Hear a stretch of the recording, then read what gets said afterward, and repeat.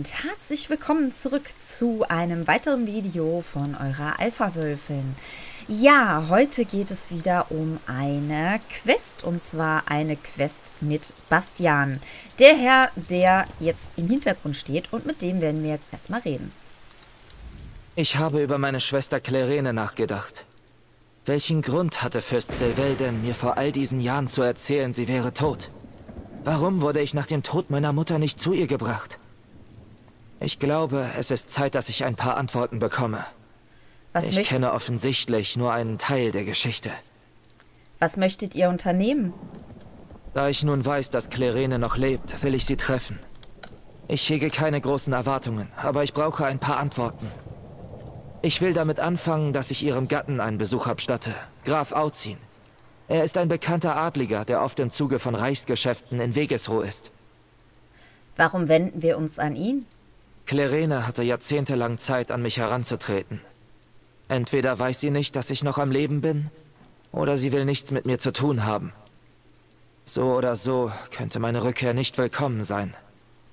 Ich sollte die Sache behutsam angehen. Würdet ihr mit mir nach Wegesruh kommen? Ich werde nach Wegesruh gehen und euch helfen, ein paar Antworten zu finden. Wenn Graf Auzin in Wegesruh ist, finden wir ihn wahrscheinlich im Gasthaus zur trüben Neige. Adlige auf Besuch kommen oft dort unter. Ich hoffe, er kann mir mehr sagen. Nach dem, was ich über die Wünsche meiner Mutter auf dem Totenbett erfahren habe, weiß ich nicht mehr, was ich denken soll. Habt ihr irgendwelche Erinnerungen an eure Schwester? Habe ich nicht. Ich weiß, dass sie ungefähr 18 Jahre älter ist als ich. Ich war ein Nachzügler. Laut Inaliet, der Dienerin meiner Mutter, heiratete Clarene schon kurz nach meiner Geburt Elmond Auzin kurz vor dem Niedergang des Hauses Hallex. Hätte eure Schwester nicht versucht, euch zu finden, nachdem eure Mutter gestorben war? Das ist die Frage, nicht wahr? Warum hat sie mich zu den Silvels geschickt? War ihre eigene Lage so brenzlig? Wollte sie sich nicht um ein Kind kümmern? Oder vielleicht ist sie tot. Es ist möglich, dass sich Inaliet geirrt und Fürst Silvel mir die Wahrheit gesagt hat. Was wisst ihr über Graf Auzin? Ich habe seinen Namen ein-, zwei Male gehört. Meistens dann, wenn Fürst Silvel und seine Besucher über Gerüchte bei Hofe sprachen. Die Auzins sind ein niederes Haus mit Ländereien im Umland von Sturmhafen. Elmond Auzin soll zumindest weithin respektiert sein. Meint ihr, er wird sich mit euch treffen? Ich wüsste nicht, warum er es nicht tun sollte. Der Makel des Hallex-Namens sorgt zwar für Unwohlsein bei anderen Adligen, doch das liegt viele Jahre zurück. Vielleicht weiß er nichts von den Arrangements meiner Mutter und könnte sehr überrascht sein, nun zu erfahren, dass er einen Schwager hat. Ich hoffe, ihr findet Antworten. Ich lausche. Was habt ihr auf dem Herzen?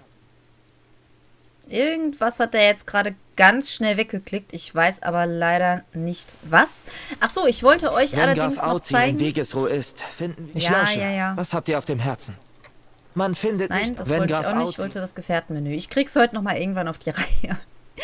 ähm, ich wollte euch nur eben zeigen, dass wir jetzt hier bei dem Stand sind. Ähm, ich habe gerade, also hier unten steht jetzt, Bastian bewundert euch sehr. Wir wollen natürlich irgendwann auf Vertraut kommen, keine Frage.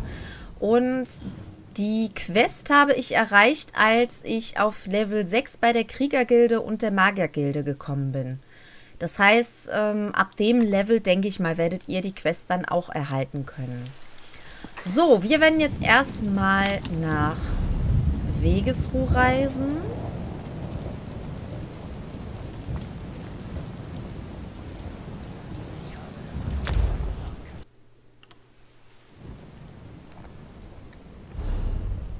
So, ich muss mal schauen, weil die Karte, die zoomt immer so blöd, nachdem ich alles umgestellt habe. Hier oben ist das, ne? Ähm ich benutze jetzt auch einen Es hat etwas Wunderbares, ohne Ziel durch die Straßen einer Stadt zu streifen. Naja, Bastian, ganz ehrlich, also wir haben ja ein Ziel, ne? Immerhin ist das ein Ziel, wo es hier um dich geht. Also, da könntest du dich mal mit deinen Sprüchen ein bisschen zurücknehmen. Ich benutze übrigens, wem es aufgefallen ist, ein komplett neues Interface. Achso, das war hier. Okay.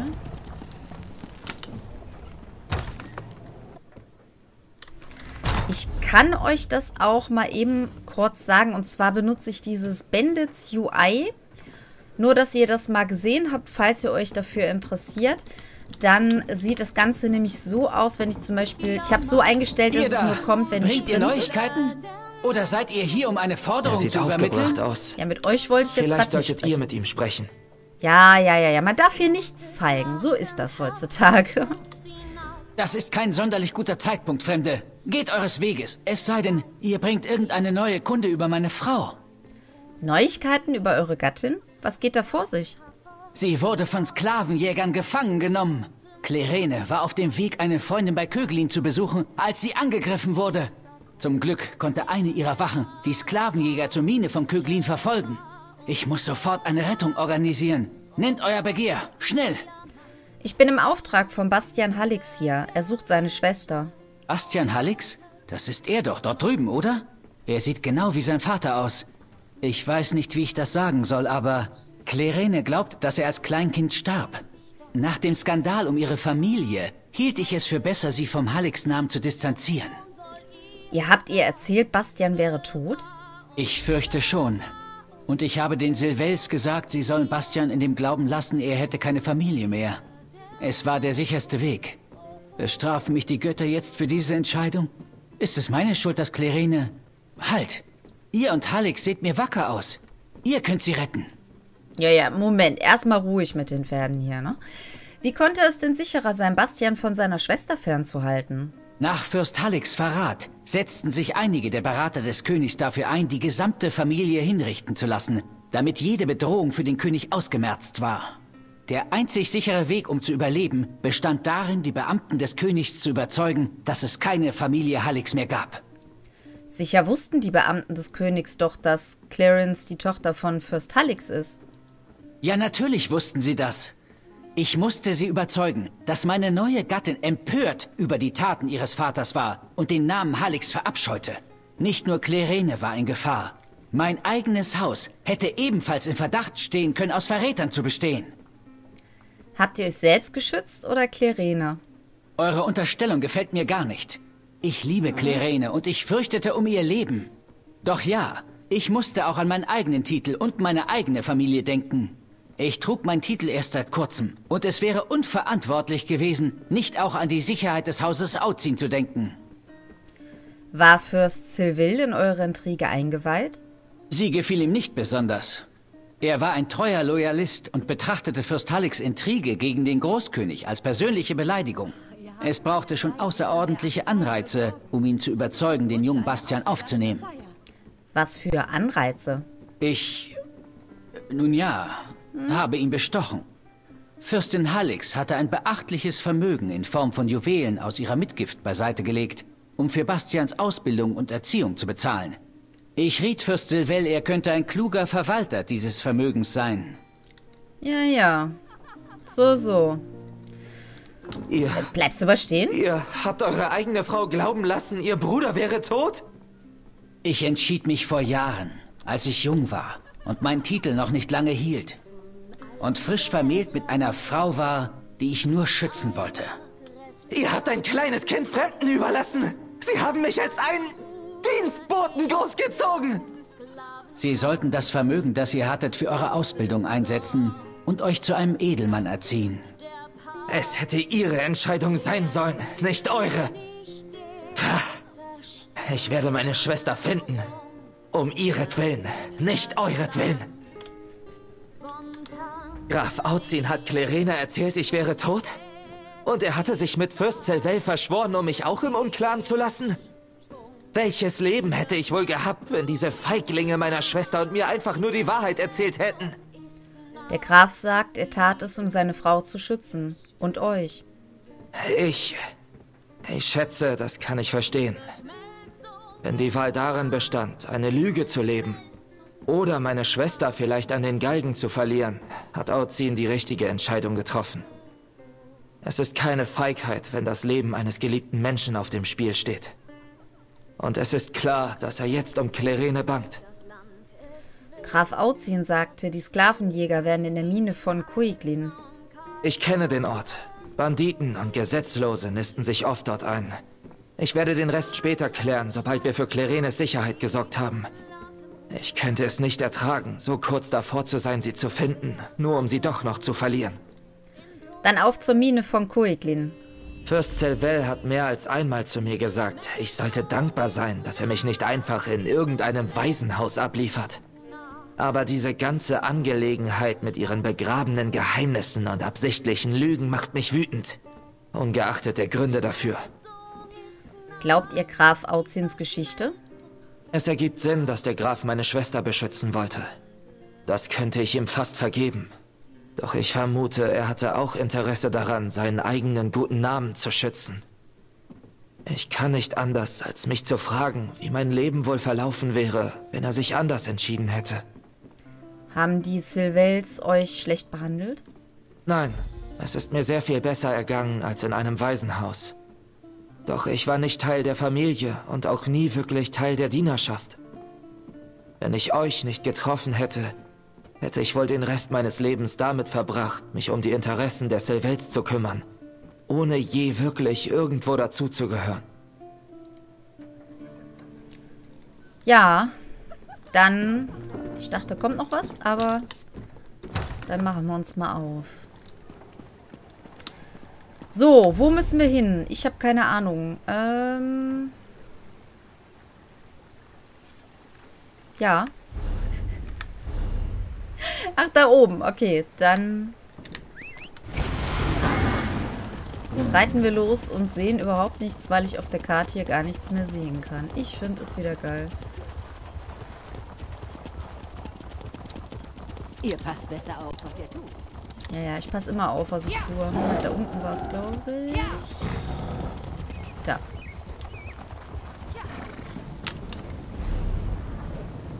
So, Koeglin, genau. Reisen wir dahin.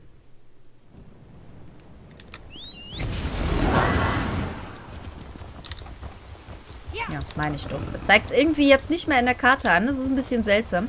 Seitdem ich das verwende, ist nicht alles so hundertprozentig. Aber gut. Doch jetzt, wo wir näher dran sind, jetzt kommt ein Kreis. Okay. Ja, meine lieben Wölfe. Ich tue euch nichts. Keine Sorge. Das scheint der richtige Ort zu sein. Ich neige eigentlich nicht zum Beten. Doch ich bete. Mussten die immer reden, wenn man gerade irgendwo reingeht? Es ist schrecklich. Okay. Hier kann man nichts Neues mehr lesen. Gut, wir müssen zum Ende. Das werden wir tun.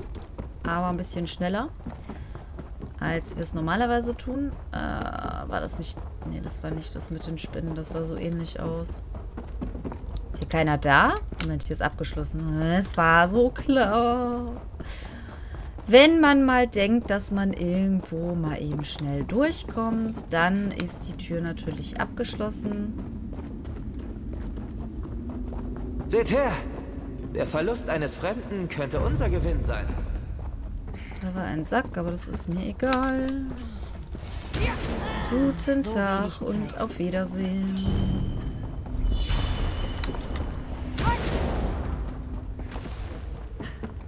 Gräfin, Gräfin. Aber ich muss mal eben die Truhe machen. Ich habe gerade keine Zeit. Ihr werdet damit nicht durchkommen, eine Gräfin zu entführen. Wenn ihr ein Hirn hättet, würdet ihr jetzt fliehen. Hat mein Mann euch geschehen? Äh, äh, oh, vergesst es. Verschwinden wir von hier. Wie vergesst es? Na gut. Okay, begleiten wir euch mal raus. Kein Thema. Ähm, ich glaube, darum ist kürzer, ne? Genau. Wenn wir denn da durchkämen. Hier gibt es noch was zum Lesen.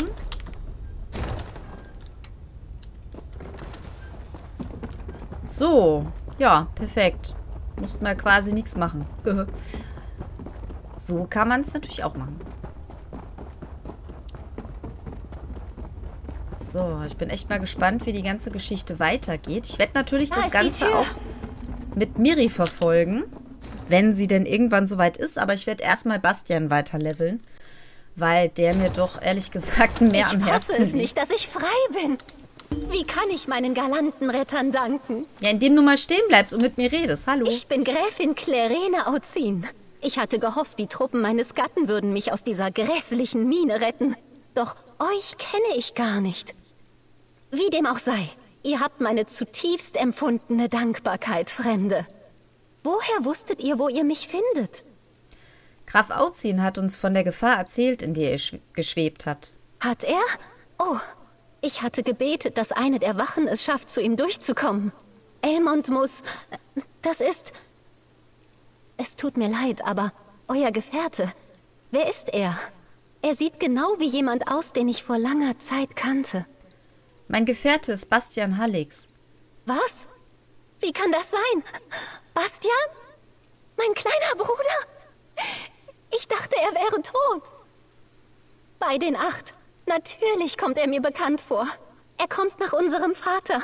Oh, entschuldigt bitte. Ich bin richtig überwältigt. Naja, aber die rötlichen Haare, die liegen ja in der Familie, ne? Ihm wurde auch gesagt, dass ihr tot seid. Sieh ihn sich einer an. Er war so klein, als ich unser Haus verließ. Unsere Eltern waren so begeistert, so spät in ihrer Ehe noch ein Kind zu bekommen. Wo war er denn all die Jahre? Wie konnte er mich jetzt finden? Unterhaltet ihr beiden euch in Ruhe. Bastian? Als ich euch das letzte Mal sah, trugt ihr noch Windeln. Ich wusste nicht einmal, dass ihr noch lebt. Ich habe eben erst erfahren, dass ihr noch lebt. Hätte ich es nur früher gewusst. Ihr ähnelt eurem Vater so sehr. Aber ihr könnt euch wahrscheinlich gar nicht an ihn erinnern, oder? Leider nicht. Auch nicht an euch, Clarene. Ich würde... Ich würde gern nachholen, was mir entgangen ist. Ich auch. Oh, ich habe so viele Fragen. Wusstet ihr, dass ihr eine Nichte und einen Neffen habt? Ich würde sie gern kennenlernen.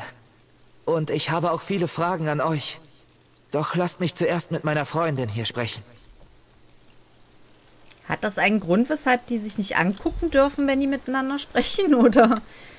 Clarene ist natürlich eine Fremde für mich. Doch ein Teil von mir empfindet so, als würde ich sie irgendwie schon kennen. Sie meinte, ich sehe meinem... unserem Vater ähnlich. Darüber habe ich oft nachgedacht. Sie scheint ebenso erfreut zu sein, euch zu finden, wie ihr es seid, sie zu finden. In der Tat. Ich muss gestehen, ich machte mir ein wenig Sorgen, dass sie mir vielleicht nicht allzu viel zu sagen hätte. Schließlich ist sie eine Gräfin und wir sind Fremde. Clarene scheint aber freundlich zu sein. Ich mag sie jetzt schon. Es fühlt sich gut an. Sie scheint ganz gewiss bereit zu sein, euch wie ein Familienmitglied zu behandeln. Was etwas ist, was die Sylvels niemals tun konnten. Sie hat ein gutes Herz, glaube ich. Es ist seltsam. Ich habe die Sylvels verlassen, weil ich mir meinen eigenen Platz in der Welt suchen wollte. Eine Familie zu entdecken, die ich für verloren hielt? Das verwurzelt einen wirklich. Sozusagen. Wollt ihr in Wegesruh bei ihr bleiben? Noch nicht. Im Augenblick möchte ich noch reisen und Abenteuer erleben. Teil der Familie meiner Schwester zu sein, ist etwas, was sich mit der Zeit ergeben wird. Habt Dank, dass ihr dies bis zum Ende mit mir durchgestanden habt. Ich glaube, ich würde mich lieber einem Dutzend Drachen stellen, als den Geistern der Vergangenheit. Ja, und ähm, ich gehe davon aus, dass das äh, die letzte Quest ist, wobei theoretisch könnte noch eine kommen. Mir hat man gesagt, dass man den Bastian erst fürs Haus bekommt, wenn man die letzte Quest gemacht hat, aber ich denke mal, dass wir noch eine haben werden. Ich bin echt gespannt. Wenn ja, werdet ihr natürlich mit dabei sein. Gewissenhafte und standfeste Helden wie Bastian Hallix brauchen trotzdem Zeit, um etwas abzuschalten. Sein ritterlicher Charme erhält garantiert jeden Raum. Habt ihr Bastian in euer Heim gebracht, könnt ihr ihn auf einen Pfad schicken und ihr sowie eure Besucher können mit ihm sprechen. Ja, wir haben einen neuen Hausgast und das quasi für umsonst. Wir mussten nur das Kapitel ähm, Blackwood kaufen, damit wir ihn freischalten konnten. Ich bin happy, happy, happy. Der kommt auf jeden Fall schon mal in mein, ähm, mein Strandhaus im. Ich komme gerade nicht drauf, wie das Haus heißt. Das mit dieser riesigen Insel auf jeden Fall. Ja, cool, cool, cool. Wir gucken auch mal eben ich weiß kurz. Clarene. Hallo? Seid ihr in Ordnung? Clarene, ich war krank vor Sorge. Den acht sei Dank seid ihr wohl auf. Dürfen sich auch Alles nicht ist gut, Elmond. Die von euch geschickten Helden hatten Erfolg. Und Ich habe euch etwas Außergewöhnliches zu erzählen. Ich weiß, meine Liebe.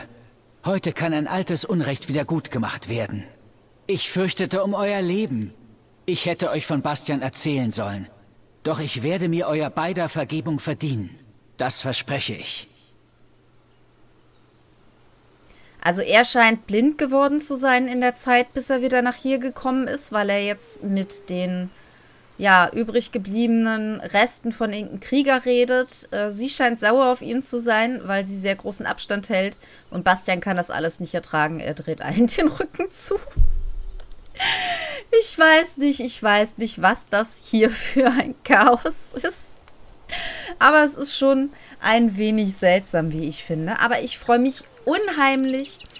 Äh, das große Topalversteck ist übrigens die Insel, die ich eben gemeint habe.